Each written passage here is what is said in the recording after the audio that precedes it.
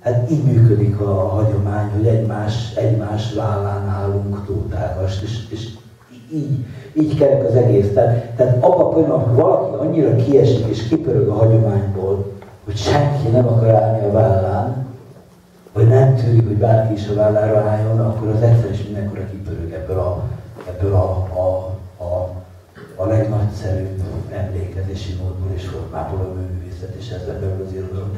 Az, hogy az ember így dolgozik, az számomra meglehetősen természetes, és még egy mondat a végére, hogy azért is van ez talán így, mert én rémesen szkeptikus vagyok, és egyáltalán nem gondolom azt, hogy, hogy bármit ki tud még találni az ember radikálisan újat.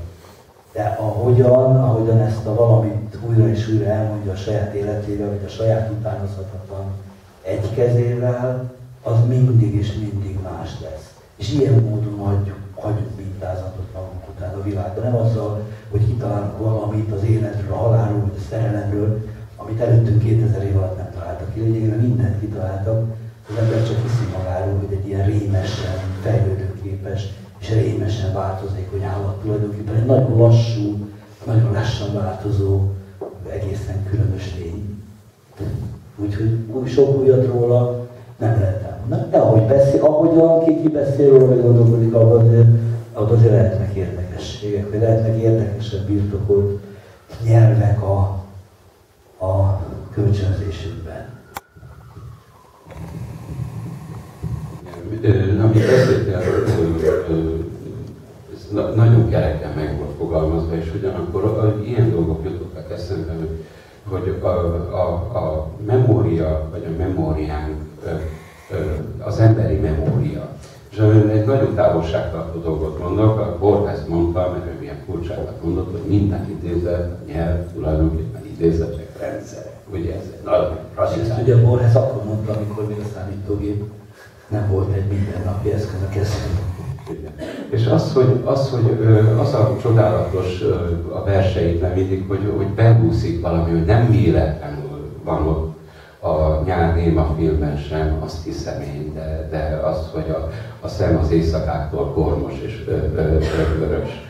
Tehát musz, muszáj volt, annyira, annyira vörösre haj az a dallam, hogy muszáj volt lejelezni. a bolero. Hogy tudom, hogy a bolero volt. A bolero, minden megyünk, ezek is. Persze. De és akkor ezt valahogy le kellett jelezni, hogy ha most odaírom, hogy Adnotan Vörös Sándor, az kicsit olyan, olyan plumpnak tűnt nekem, és akkor ezt a kis pofátlanságot választott. A kormos is egyébként benne van, a koris dallam is benne van, hogy a kormos meg a vöröst az bejön, nem írtam dupla vével.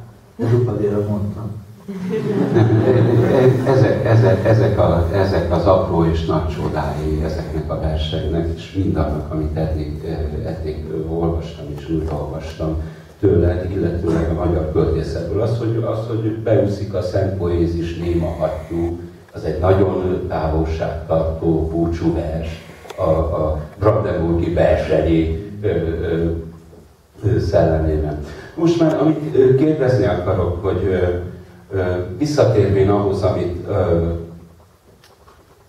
mostanában, mostanában csinálsz, hát az, hogy főleg drámákat, színházi szövegeket írsz, bemutatásra szánt dolgokat, és akkor egy kicsit visszacikkalva a Presser dologhoz. Tehát az teljesen más dolog, amikor az, abból az anyagokból tehát jön Presser, és azt mondja, hogy ezt válogattam ki, ezt én így csinálom meg, nem is lehetne beleszólni. Mit mondjon egy költő egy, egy zeneszerzőnek? Nem lehet sokat, nem is kell, és nem is szabad. De például úgy, hogy vagy a bemutatott drámai szövegekkel, tehát, tehát azt, amit, azt, amit úgy elképzeltél, és mondjuk azután elmész próbákra, gondolom azért néha bebenézel, és végül is a bemutatóra. Milyen ez a munka, ez a színházi munka, ez érdekelne? Még nem volt szó mi három napja beszélgettünk erről, még nem kérdeztünk. András nagyon igyekszik úgy kérdezni, ne azt, amit már holott ugye rajtunk kívül ezt más nem volt, ezt is megkérdeztük már egymástól. De nem, ezt én, azért, azért tartom fontosnak, hogy tényleg azt folytatni, amit a Preszterről mondtam, jó, így van. Hogy számomra ez, ez egy nagyon egyszerű dolog. Onnan tudom, hogy nem vagyok drámaíró, hogy eszem ágába sincs azt gondolni, hogy az én dolgom ott fejeződött be, amikor lemegy a függöny. a színészé, a rendezői mondjuk ott, vagy nem tudom, a részlettervezői, és ott hal meg, vagy ott marad életben. Én nekem, amikor kitettem a pontot, én azt, ami az én dolgom megcsináltam, onnantól elő, előállítottam egy szöveget, amit kézbe kap egy másik művészeti ág, jeles vagy, vagy még jelesebb képviselője, és gyúr belőle egy másik műalkotást.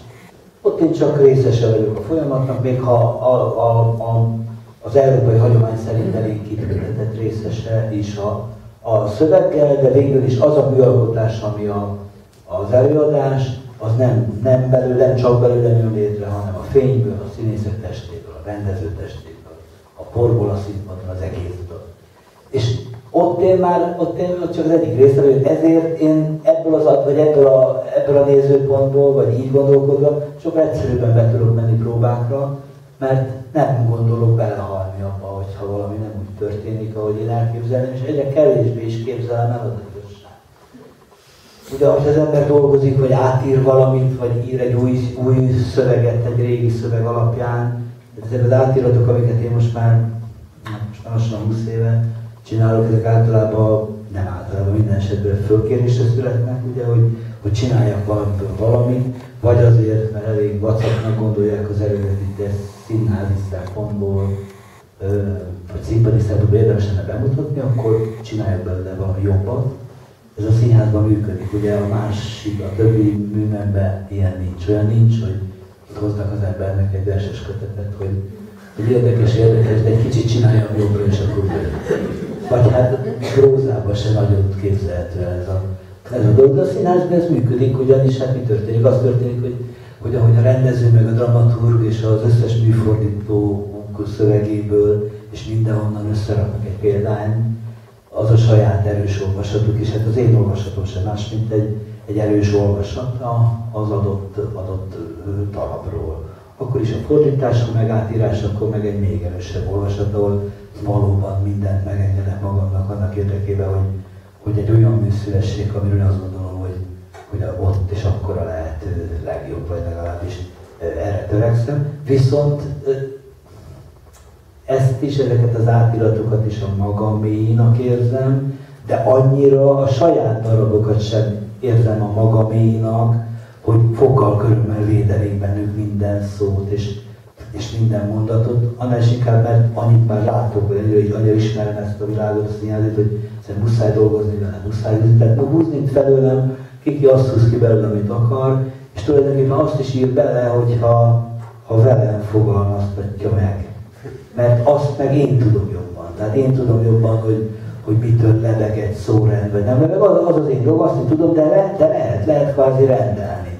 Hogy ide még, ide még akar valaki valamit, amikor az alföldiek megcsináltam a tartűfet, vagy hát, újraírtam, vagy átírtam, nem, azt se én találtam ki természetesen, hanem az alföldi, akkor a negyedik felvonás végén én ezt abba hogy részebről ezt befejeztem, az ötödik felvonás nem jó, én ugye nem fordítottam, én átírtam ezt a dolgot, én ott fejezem be, ahol akarom. Nekem ez itt autorizálva, itt van a vége.